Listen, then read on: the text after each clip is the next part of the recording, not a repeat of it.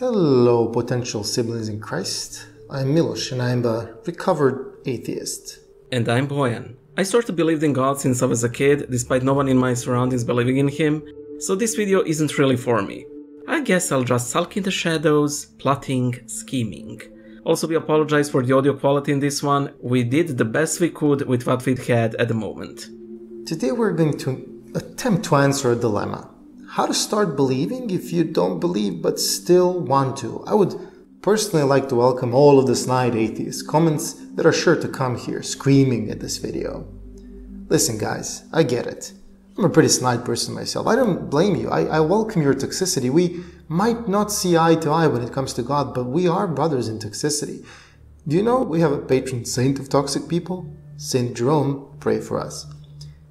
Before we start, we suggest all the atheists watching this video to subscribe because you may not like what's coming and uh, better subscribe now where your opinion of this video and channel is at its all-time high. Subscribe? Good. Merriam-Webster Dictionary defines atheism as a state of disbelief in the most holy trinity despite all the evidence to the contrary.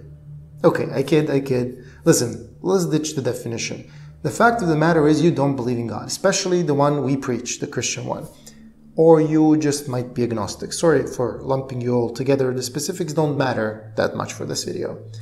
There's a finite number of atheist types when it comes to their feelings towards God. The first group would hate him. The second group is kind of indifferent to him. And finally, the third group, the type this episode is primarily aimed at, are those who wish God was real. They find the idea of a loving God very comforting. Afterlife sounds great. And if you add the resurrection to the mix, all the better. Sadly, they think if only any of it were true. For the sake of argument, let us assume that God is real. In such a scenario, the poor, willing atheist is in a bit of a vicious circle. They could pray, but the prayer requires belief, and they prayed anyways without belief. Why would God hear such a prayer that has not a single drop of faith in it? For those who wish that God is real, the gospel provides a solution. Let us read the relevant passage. Don't skip it. It's important. Then one of the crowd answered and said, Teacher, I brought you my son who has a mute spirit, and wherever it seizes him, it throws him down. He foams at the mouth, gnashes at his teeth, and becomes rigid. So he spoke to your disciples that they should cast it out, but they could not. He answered him and said, O faithless generation, how long shall I be with you? How long shall I bear with you? Bring him to me. Then they brought him to him. And when he saw him, immediately the spirit convulsed him, and he fell on the ground and wallowed, foaming at the mouth. So he asked the father, How long has this been happening to him? And he said, From childhood. And often he has thrown him both into the fire into the water to destroy him. But if you can do anything, have compassion for us and help us. Jesus said to him, If you can believe, all things are possible to him who believes. Immediately the father of the child cried out and said with tears, Lord, I believe, help my unbelief. When Jesus saw that the people came running together, he rebuked the unclean spirit, saying to it, Deaf and dumb spirit, I command you, come out of him and enter him no more. Then the spirit cried out convulsed him greatly, and came out of him. See that short prayer of the desperate father? Lord, I believe, help my unbelief. That prayer is key to your own belief. The father was in a similar predicament. Jesus could have just been another one of many wandering sorcerers who failed to heal his son. Yet, what if there was a chance that he is the real deal? And that is why the Lord heard his prayer, full of evident doubt as it was. It was an honest prayer.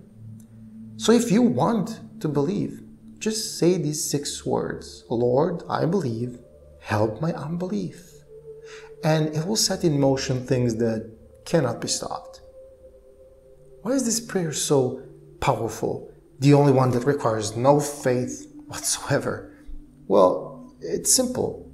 You probably know or have heard about the Old Testament being big on animal sacrifices, and you probably know how Jesus sacrificed himself on the cross for humanity. By uttering this prayer, you may not have faith that someone is listening, but you're sacrificing the most valuable thing of all your ego. You're bleeding it dry on the altar. You are crucifying it on the cross. To you, it may be a simple acceptance of the fact you might be wrong, but for God, that crack will probably be enough for Him to fill the entire chamber of your soul, eventually. How will God hear your prayer? Now, we come to an important aspect. You must have no expectations how and when God will answer it. It might be in a day or on your deathbed. It might be completely mundane or it might be very supernatural. It might be after an extremely painful episode of your life, or rather typical one. Whatever it is, set no expectations. Now, you might say, Aren't I betraying my principles? Well, you know, isn't love of truth also one of your principles? Saying this prayer will do absolutely nothing if God isn't real. But if He is, you've just made a first step, however small, on a wonderful journey that lasts until eternity itself. Thanks to all our lovely donors who help us create all these videos. If you want to hear more about atheism, this time from Bojan, you can listen to his thoughts on atheism or simply see the differences between atheism and orthodoxy. Bye.